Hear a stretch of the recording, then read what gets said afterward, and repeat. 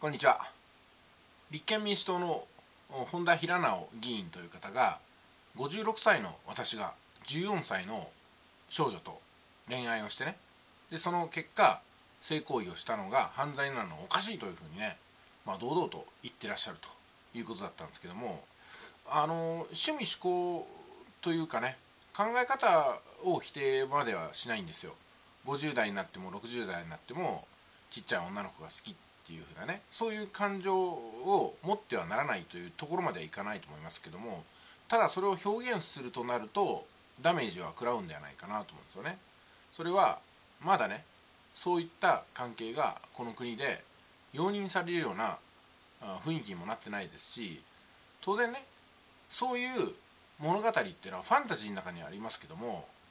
あの選挙で選ばれた国会議員の方がそれを堂々ということっていうのはさすがに多くの方の抵抗感を生むと思いますし年頃のね女の子を抱えた家庭の方もし抱えてなくてもそういうことを想像して気持ち悪いなとなんだこいつはって思われるのはまあこれはしょうがないことだと思うんですよ。でもそういうところに想像力が働かずにああいう発言を記録される場で言うってことにねまあこの人に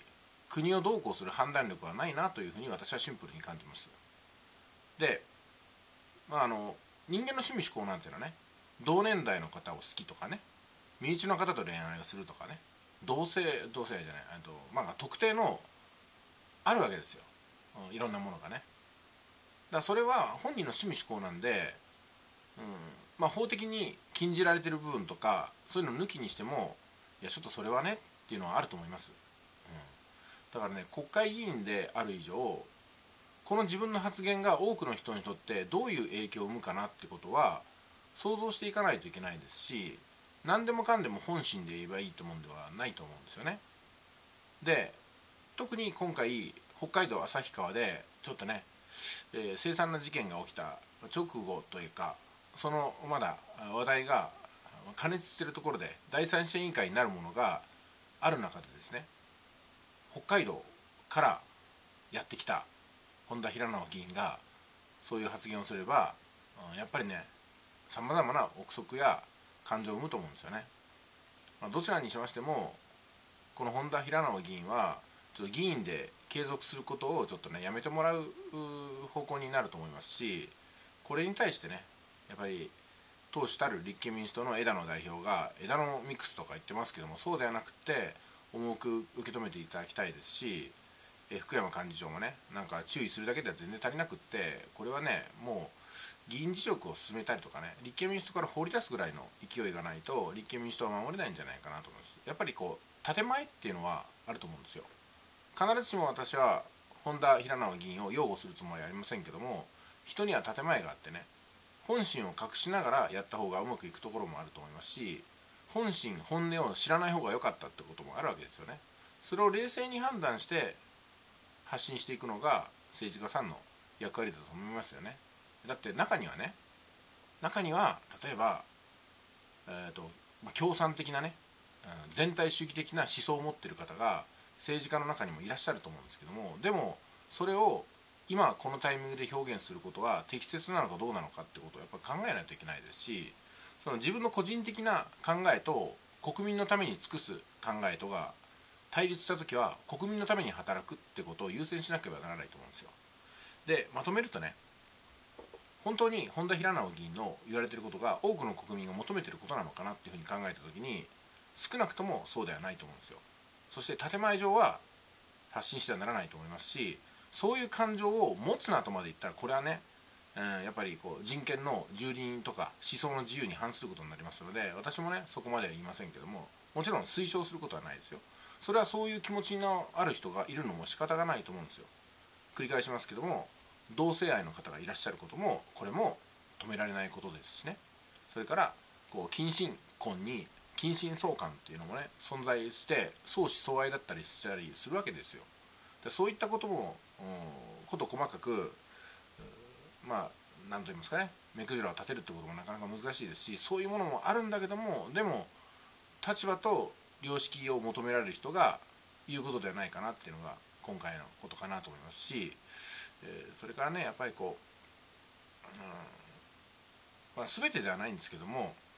多くの人に受け入れられるような生き方をしなければならない部分もあると思うんですよね。表現が難しいんで私もちょっと慎重に言葉を選びながら言ってるんですけども確かに50代60代の男性がね10代、えー、もうなんですかね小学生中学生ぐらいの女の子にときめくことがあってもそれはしょうがないでしょ、うん、そういうものだからねそういう人が一部いるのは仕方がないんですけどもだからといってそれをねそれを、まあ、法律というもので建前上ね問題が起きないようにこう決めてくださってるわけですよ。でそれに対してそれがおかしいっていうのはおかしいかなと。とりあえず今この瞬間のこの時代には受け入れられません。ね、多分ある国ではとかね日本も昔はっていう前提があってだから今の常識がねずっと通じるとは限らないんだよみたいな論法を用いる人もいますけども今私たちが生きてる世の中でね50代60代の方が14歳の女の子とまっすぐな恋愛に落ちることってのはなかなかないですし仮にそうなったとしても性行為をしていいのかどうかってことはまた別の問題でむしろ本田平野議員ほどの年齢と良識ある人格者になっていけばですね性欲はあれどもこの14歳の女の子のことを守るのは俺の役目だから欲望はあるけどもせいぜいね1618ぐらいになるまで待ってあげようかと。それまでは性欲のない愛情を傾けていこうか。でもいいと思うんですよ、うん、だからそれをね性行為するのがおかしいって言い張るのは全然違いますよね。そういう感情が正直私にもありますがでもこの女の子の未成熟な部分を考えると未来を考えると今は徹底的な性関係のない愛情を送り込むことが最善だと思いますぐらいのことはね言えればいいんじゃないかなと思うんですけどどうですかね。うん。だってねやっぱり10代の女の子20代の女の子いろんな経験や出会いを繰り返して気持ちが変わってくわけじゃないですか。でもね14歳の時によくわかんない56歳の国会議員となんかね性関係持ってました。っていう風な歴史がある人をねじゃそれからねどういう風にこれから出会う人を見ていくかなっていう風なそのせっかくの花開くべき14歳の年はもういかない女の子のねあのこう人生を潰してしまうことにもなりかないわけですよね、うん、だからね男性は性欲に走ることなくやっぱり愛を持って接するという建前はね守っていただきたいかなと思いますよね。それがだから男性の、うん、男らしさなんじゃないかなと。何でもかんでもねやればいいっていうそんな野獣みたいなものではないですからね。理性とね良識を持ってそして建前を重んじていくところはあると思うんですけどね、